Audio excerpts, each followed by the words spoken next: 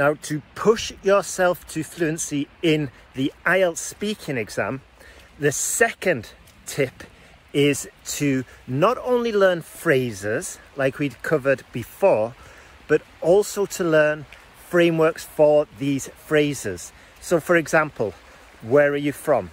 I'm from a small village near Manchester and there's lots of lots of tiny little rivers and streams and canals that I really enjoy visiting. And this is because I enjoy my time outside in the in the fresh air in the countryside.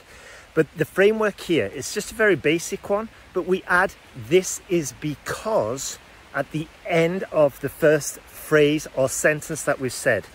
And now we can build this up. We say our first sentence we follow it by this is because and then we say for example and at first you might sound a little bit structured a little bit robotic. However, the more you get to use this, the more you start making it your own and you will start sounding more natural and more confident.